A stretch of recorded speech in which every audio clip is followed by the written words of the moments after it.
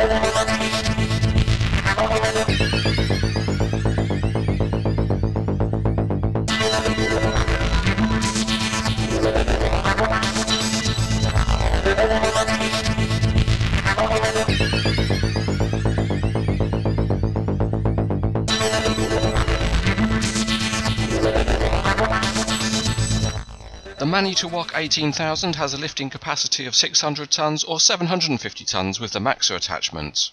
In its full configuration, it can lift to a height of around 180 meters. The model is shipped in a big outer carton and inside that is a plain white box and that contains the trays which have all the model pieces in. Getting the trays out is a little bit awkward because of their size, so if you're not personally configured with four hands, it's best to make it a two-person job. The top tray consists of a number of boom and ballast parts and tucked down the side is a manual and we'll look at that later.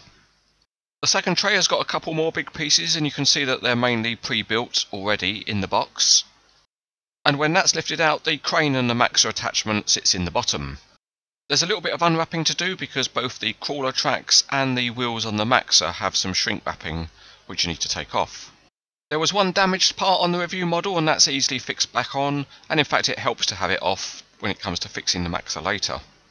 The assembly manual is a good production with a good parts list, although it doesn't cover all of the different screw types. And the photos and instructions are easily followed. There's also some reeving diagrams at the end and they are pretty good too. One nice inclusion with the model is a toolkit and that comes in its own little box and you've got a pair of scissors, a little handle for winding the winches on the model, and in the second tray there are other parts including pliers, screwdriver and superglue. Also included, if you want to make a fashion statement, is some white cotton gloves.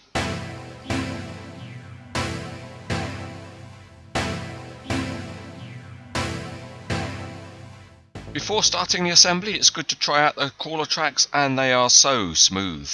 And crawler tracks don't get any better than this. Some of the reeving is done, which is good, but it's already bounced off some of the pulleys, so there's some sorting out to do, and the foam will be left until later.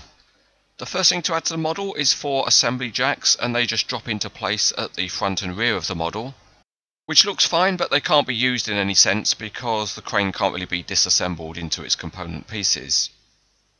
This model first appeared in 2005 with brass boom sections, but this version now has die-cast booms, and they certainly are very straight.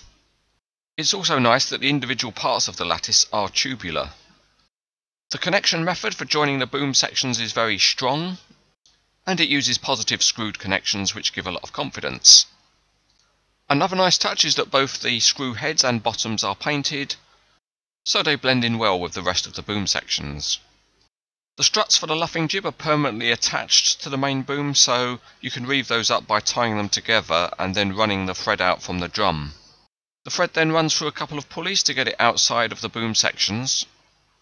And it is one of the nice details of the model that the pulleys have all got spokes, so they're quite pleasing when you actually pull the thread through and see that all the spoked wheels move. The thread then goes to the boom top with the tweezers proving quite handy. When you get the thread to the end of the struts, you've then got a happy hour of trying to follow the ins and outs of the reeving diagram. After swearing and kicking the dog a couple of times, you've then got the luffing jib struts reeved up. You can then follow a similar process for the luffing gear for the main boom, and one way you can do that is to remove the luffing bridle and fix it to the end of the fixed mast. And here at Cranes Etc we secure it in place using a high-tech custom designed precision engineered solution of an elastic band. Once it's all temporarily rigged up, it's then fairly easy to reeve it up again following the instructions in the assembly manual.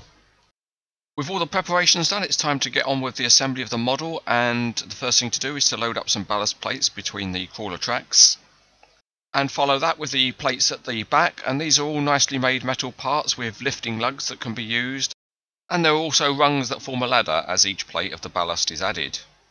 To increase the lifting capacity of the crane even more, extra counterweight is added on a special carriage at the back called the MAX-ER and this attaches with a pinned connection which is a bit awkward so you need to use the pliers and this is where the detached walkway platform actually helps because it makes it slightly easier to do the pins up and then attach the platform afterwards.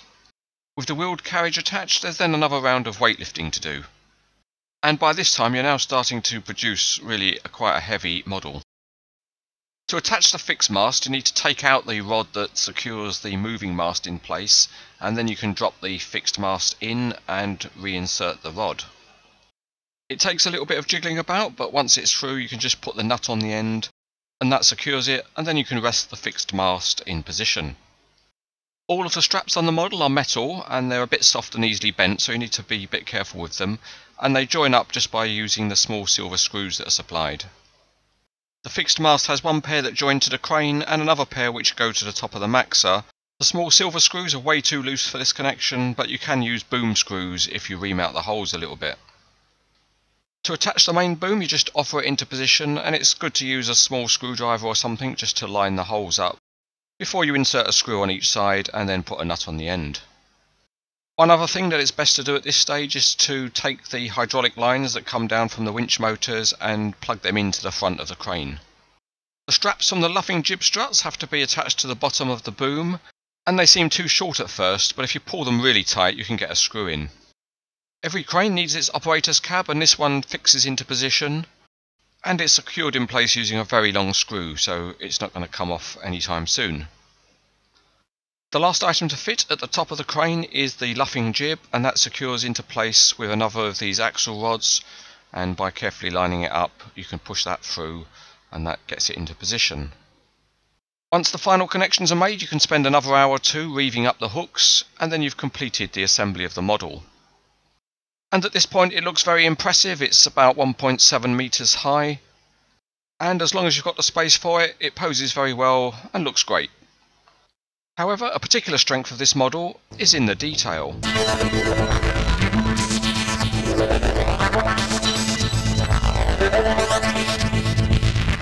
The metal tracks look great and the track frames even have tiny chains and hooks.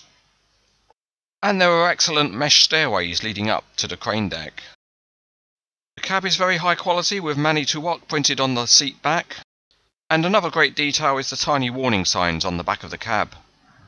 The paintwork and graphics are very sharp and there's plenty more really good metal walkways. All of the pulleys are metal and inside the body a plastic engine is just visible. At the rear the MAX-ER has the same high level of detail with plenty of hydraulic hoses and really good looking tyres. The lower boom looks busy and complicated with the winch drums and the hydraulic hoses. The boom top looks impressive although the silver nuts and bolts would have looked better painted. One issue with the model is that the geometry of some of the parts is still not quite perfect. So for example in this case it means that these pairs of straps are not equally under tension and so they don't hang quite perfectly. Also on the review model the small jib for the whip line is not made very well and sits slightly at an angle. The main hook though is a nice piece, it's all metal and it's got a swivelling hook on the end. And all of the pulleys are metal and perfectly free rolling. Here at Cranes Etc we take great pride in having a clean machine and the team will go to any lengths to keep things sparkling.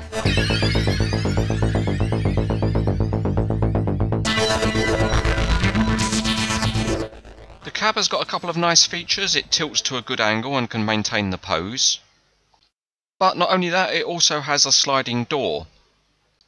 This works well and it just gives you some different posing possibilities. The winches in the body are operated using a supplied tool, but the fact is that most of the winches have no meaningful brake, and so there's no improvement over the first version of the model. The wheels on the MAX-ER go round and round, and they're also on swivelling pivots so they can be angled to point towards the crane, so they facilitate the crane towing it along if it needs to change location. There are four stabilisers on the carriage and the pads can be lowered by just pulling down the cylinders. They're not screwed, so they have smooth surfaces and look quite realistic. And up on top of the MAX-ER, the strap connection is spring-loaded, which is quite nice. With the whole crane assembled, it can be made to rotate smoothly. And that includes the MAX-ER attachment, which just moves with the crane's rotation. One design decision that's not been changed on this version of the model is that really it can only be assembled in its full configuration and that's because certain connections are riveted when it would have been quite easy to make them disconnectable. This applies to the moving mast, which has got some riveted straps, and one connection on the luffing jib strut is riveted, preventing its separation. However, you can drill those rivets out and that gives you much more display flexibility. So here's one I prepared earlier which shows the crane just rigged with a short main boom. And of course you could rig it with just a long main boom if you wanted. There's no doubt that this is a very detailed and impressive model by TWH. It looks great but functionality is not its strong point, although a skilled collector can probably improve its flexibility. If you want a really detailed big crane model, then this one is outstanding.